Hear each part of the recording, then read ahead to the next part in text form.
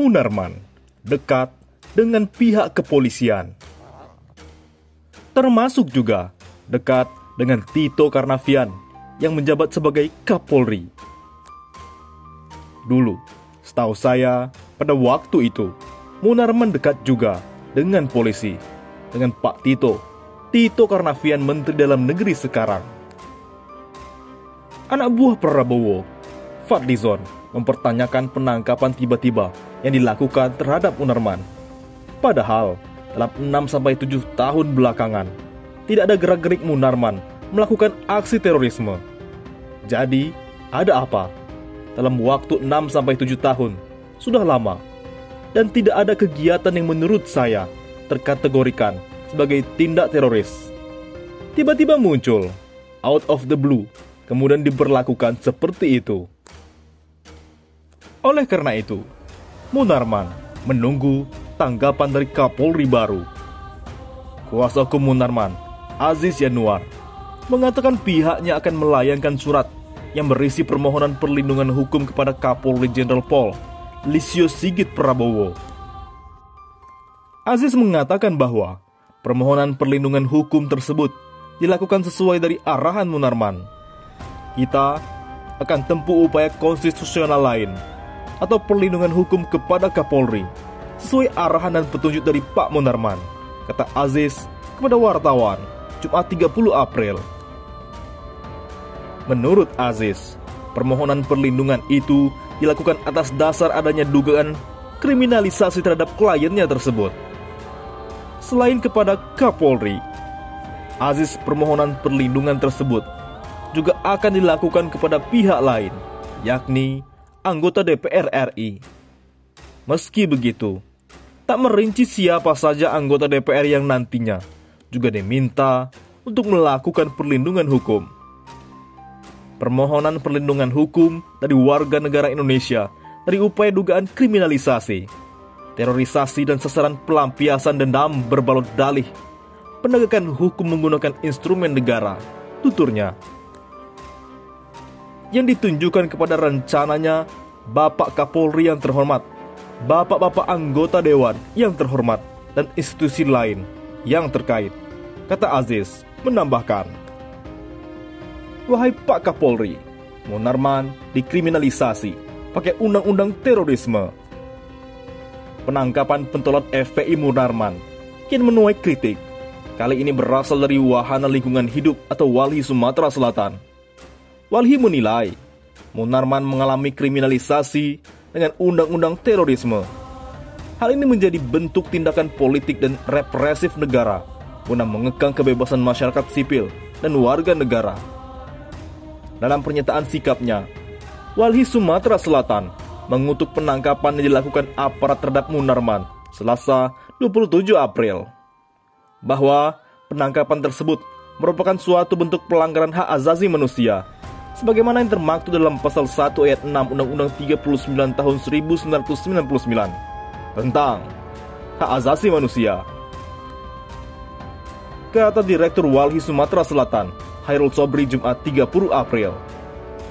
Dikatakan ia, pelanggaran hak asasi manusia adalah setiap perbuatan seseorang atau kelompok orang termasuk aparat penegak hukum, negara, baik ini sengaja maupun tidak sengaja, atau kelalaian yang secara melawan hukum mengurangi, menghalangi, membatasi, dan atau mencabut hak asasi manusia seseorang untuk kelompok orang dijamin oleh undang-undang ini. Hal ini tidak mendapatkan atau dikhawatirkan tidak memperoleh penyelesaian hukum yang adil dan benar berdasarkan mekanisme hukum yang berlaku. Dalam proses penangkapan, pihak kepolisian melakukannya secara sewenang-wenang dan tidak sesuai dengan ketentuan hukum yang diatur dalam Undang-Undang Nomor 8 Tahun 1981 tentang Hukum Acara Pidana KUHP. Belum pernah dilakukan pemeriksaan dan ditetapkan statusnya sebagai tersangka sebagaimana disyaratkan dalam KUHP. Junto putusan Mahkamah Konstitusi nomor 21 PUU 12 2014 terang Hairul. Proses penangkapan Munarman adalah suatu bentuk tindakan yang tidak manusiawi dan merendahkan martabat kemanusiaan. Sebagaimana diatur dalam Undang-Undang Nomor 5 Tahun 1998 tentang ratifikasi konvensi anti penyiksaan. Undang-Undang Nomor 39 Tahun 1999 tentang hak asasi manusia dan Undang-Undang Nomor 13 Tahun 2005 tentang ratifikasi konvenan hak sipil dan politik. Profesi Munarman sebagai advokat ialah profesi officium nobile atau profesi yang terhormat yang merupakan aparat penegak hukum yang bebas, mandiri, dan tunduk pada undang-undang advokat. Bahwa dalam pemanggilan seorang advokat untuk kepentingan pemeriksaan yang terkait dengan tugas menjalankan profesinya harus dilakukan melalui organisasi advokat di mana advokat tersebut bernaung. Kami juga menilai bahwa kriminalisasi dengan menggunakan undang-undang terorisme adalah suatu bentuk tindakan politik represif negara untuk mengekang kebebasan masyarakat, sipil atau warga negara, dan mendorong kembali Indonesia menjadi negara otoriter yang kejam, tegasnya. Tindakan aparatur kekuasaan negara yang sewenang-wenang menunjukkan bukti adanya kemunduran demokrasi dan cita-cita keadilan sosial bagi seluruh rakyat Indonesia yang jauh dari harapan. Oleh karena itu, kami menuntut segera menghentikan proses hukum terhadap Unarman dan negara agar meminta maaf, memulihkan nama baiknya. Di lain sisi, pengamat politik Rocky Gerung turut berkomentar soal heboh video CCTV memperlihatkan Munarman sedang berada di hotel dengan wanita. Belakangan beredar di media sosial, nama wanita yang check-in bersama Munarman adalah Lili Sofia.